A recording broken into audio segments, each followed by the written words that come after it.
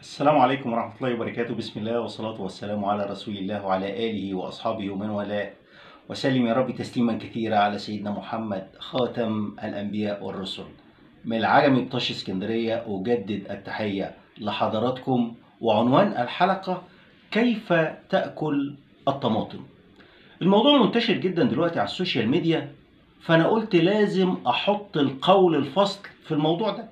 الموضوع بكل بساطة إن الطماطم سبحان الله سبحان الله ممكن أقسمها اتنين. أهو. سلام سلام. آه والله.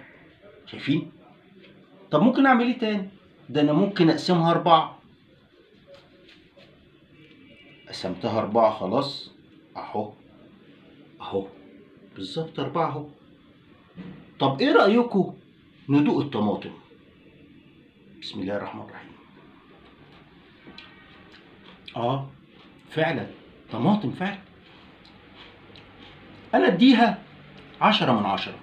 بس خلي بالك ما تزودش في الطماطم علشان بتزود الأوكزالات.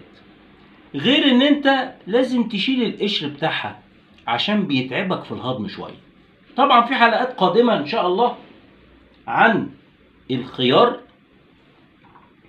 والجزر والفلفل الألوان الغني بفيتامين سي المركب. هتبقى حلقات إن شاء الله مزدهرة جدا بالمعلومات. يا ريت تنشروا الفيديو بقدر المستطاع عشان الناس تستفيد. دمتم يا رب بصحة وعافية ولا احتجتوا أي طبيب ولا أي صيدلية ولا أي دواء لا تنسوا ذكر الله والصلاة كثيرا على سيدنا محمد خاتم الأنبياء والرسل. شكرا على طيب المتابعة. السلام عليكم ورحمة الله وبركاته.